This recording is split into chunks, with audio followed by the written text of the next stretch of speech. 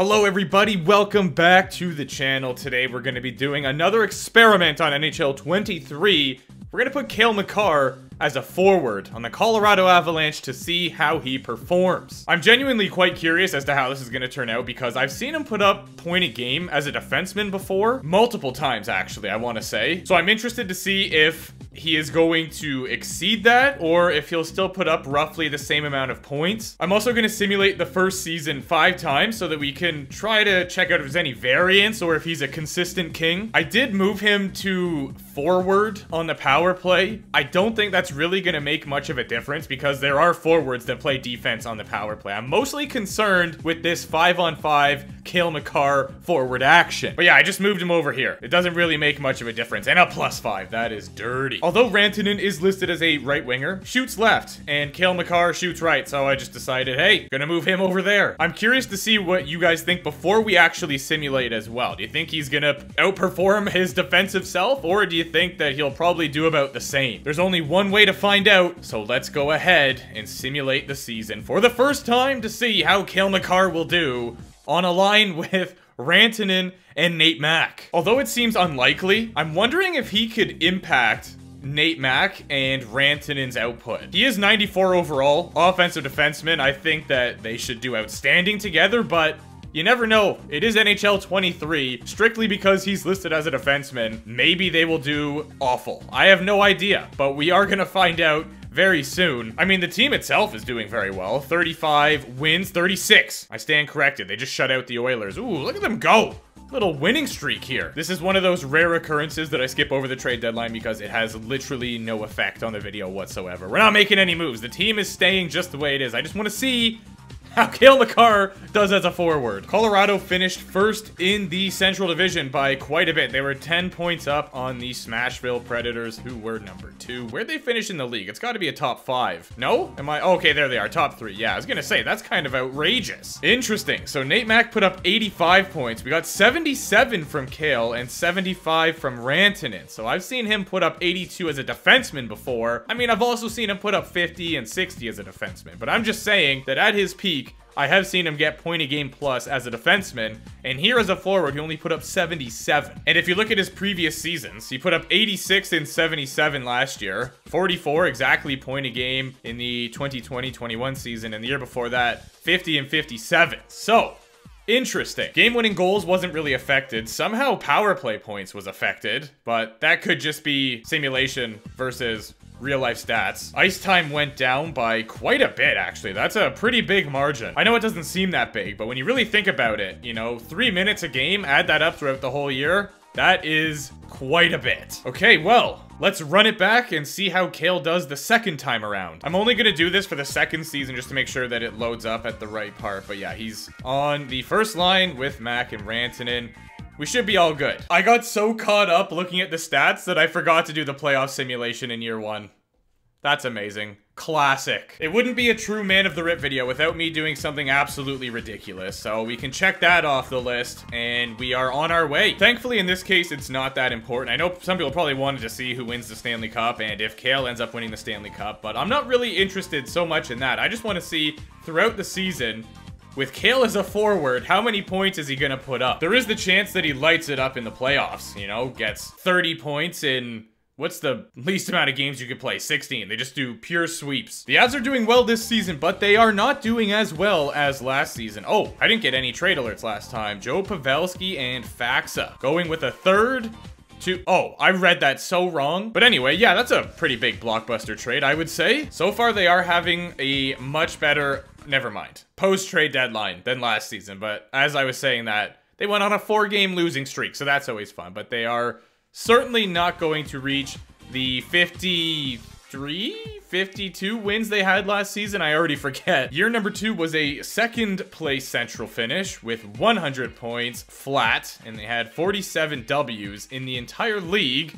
They would finish sixth, so they still did well. Nate actually had one less point than last year, but Cale Makar went up from 77 to 83. He is above point a game this season. And Rantanen had 81. So these guys were all neck and neck throughout the year, clearly. All right, let's head to year three. I'm just kidding. I'm joking. It's playoff time. Let's do it. Oh, could it be a first round exit? Yes, it is at the hands of the Winnipeg Jets. That's what would have happened in the other one, by the way. So, spoiler alert. The Maple Leafs go on to win the Stanley Cup in this simulation. And let's see how many points Cale Makar had in seven playoff games. Nate Mack had nine. And if we go over to the player stats, we should be able to see Nice. He had nine, so he was right there with Nate. Awarded to the defenseman who demonstrates throughout the season the greatest. Yeah. So, this is kind of cheating.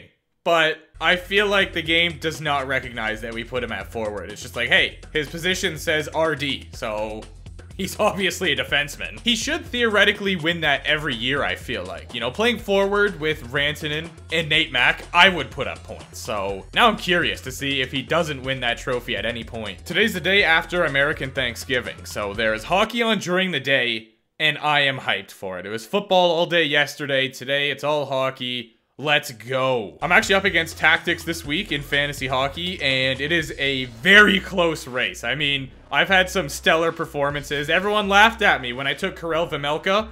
Guy is a legend. I really do need Ehlers Nichushkin, and it wouldn't hurt to have Vrana back as well. I've had a lot of injuries recently. Teravainen's out for a while. Chabot had a concussion, so he should be back somewhat soon. The Avs are on a fairly similar pace to the year one sim. I think they're a little bit ahead of year two, but let's see how the post-trade deadline goes and if they will reach 50 wins yet again. How many is that? One, two, three, four, five, six losses in a row. Classic. I thought for a second they weren't going to make the playoffs. When I show you guys this, you're going to be blown away. I am shocked they made it in, but Cale Makar, 85 points. Attaboy. A 92 point fifth placed finish for the Colorado Avalanche in the third year simulation. 13th in the league, so it does make sense, but now that begs the question, did someone who should not be in the playoffs at all make it? No, apparently not. So Cale led the team this year, 85 points. We got 83 from Ranton and Nate Mack was third. So these guys always finish relatively close to one another, which definitely makes sense because they are line mates. Plus 33 with 16 PIMs, a 13.2 shooting percentage. Only three game-winning goals this year. Will they surpass the round one curse? They're off to a great start here. And they do. They make it to round number two against the, uh-oh, not the Winnipeg Jets. It is already heavily in fate. A sweep!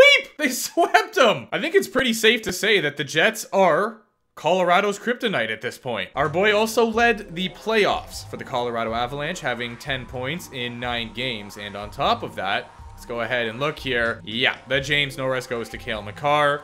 No shocker. Unless you are surprised by that somehow. In which case, I don't know where your head's at. So far, we've seen pretty consistent results. In fact, it's been going up incrementally, so let's see if Cale Makar will once again top the previous season, or if this will be the first season that he does not do that. First in the division at the moment, but definitely not far ahead. It is a close race. Although Cale has been having incrementally more successful seasons, I feel like the team has been going downhill. Actually, they have, because they had 107 points, and then they had 100 points. And then last year they had, what, 92? So they are getting incrementally worse as he gets incrementally better.